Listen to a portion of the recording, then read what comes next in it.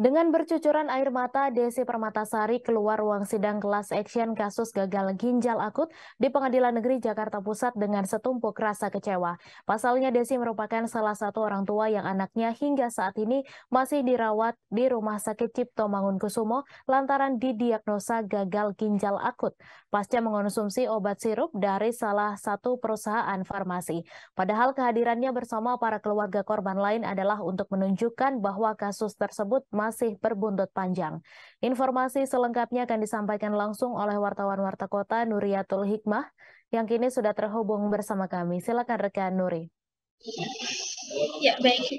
Ya, baik. Mei, benar sekali bahwasannya Desi Ratnasari adalah salah satu orang tua dari uh, korban yang mana anaknya sendiri bernama Shena, dia sedang dirawat akibat didiagnosa gagal ginjal akut karena walaupun lantaran juga uh, mengkonsumsi salah satu obat sirup dari perusahaan farmasi.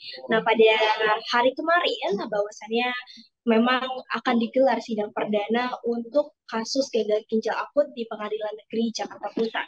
Kendati begitu, sidang class action untuk pertama kalinya itu uh, terpaksa ditunda karena satu dan lain hal. Salah satunya adalah karena banyak sekali pihak tergugat yang tidak datang serta ketua kelompok dari dua uh, penggugat seperti itu tidak menghadiri uh, persidangan. Dan uh, Desi pada saat itu keluar dengan setumpuk rasa kecewa. Selain itu, Desi juga meminta agar pihak tergugat melihat langsung bagaimana kondisi anaknya yang saat ini masih dirawat di Rumah Sakit Cipto Mangunkusumo atau RSCM uh, lantaran didiagnosa gagal ginjal akut.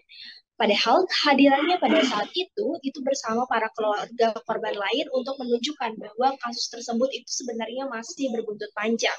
Ia kecewa, ia marah, tapi Desi tidak tahu harus marah kepada siapa.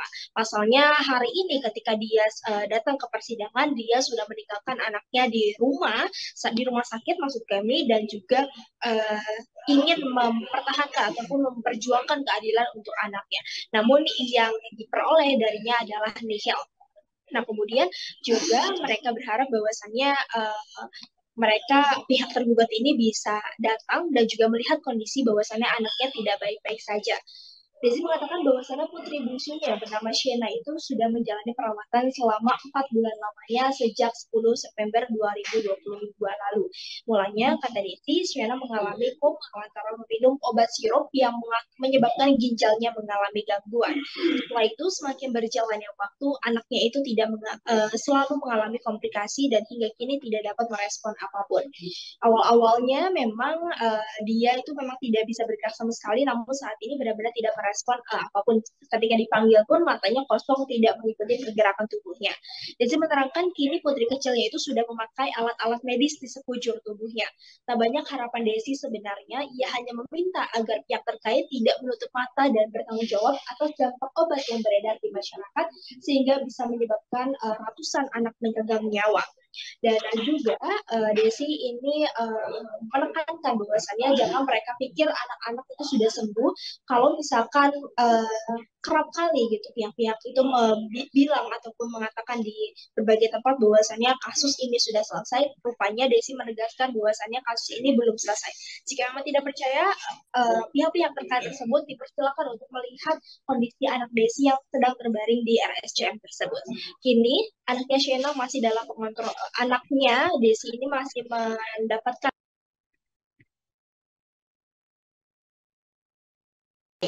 Desi berujar ia tak tahu sudah berapa lama banyak materi yang dikeluarkan selama putrinya itu dirawat. Yang pasti hingga saat ini belum ada itikat baik dari pihak tergugat kepada keluarga korban bahkan untuk sekedar meminta maaf. Dan selain itu juga eh, Desi ini hanya bisa pasrah dan juga berserah dengan kejadian yang menimpa dirinya. Ia hanya kuat berharap bahwasanya pihak-pihak terkait dapat terketuk hatinya untuk bisa melihat korban gagal ginjal lainnya yang belum sembuh dan masih mendapatkan perawatan. Pasalnya Desi juga uh, tidak bisa memprediksi berapa banyak materi yang sudah dikeluarkan selama pengobatan China uh, selama 4 bulan lamanya tanpa bantuan apa pun. Demikian baik kembali kepada Anda.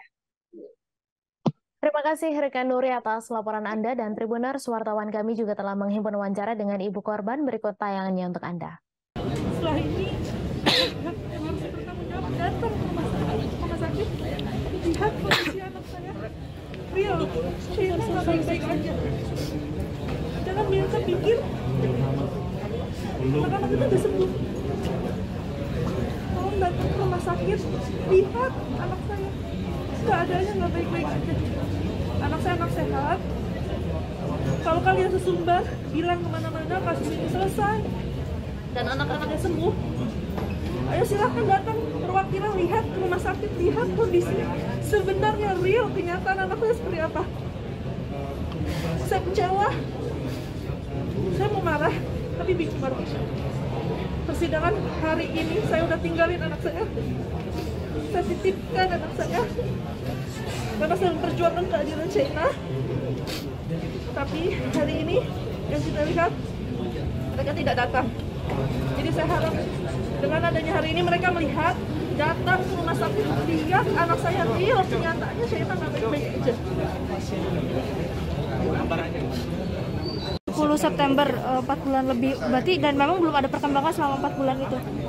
Ya dia kalau awal-awal kan dia koma sekarang dia sadar tapi dia nggak respon tidak ada pergerakan respon dari tubuhnya matanya terbuka maksudnya kayak kita ngeliat tapi kalau dipanggil dia matanya kosong nggak ngikutin Terima kasih sudah nonton.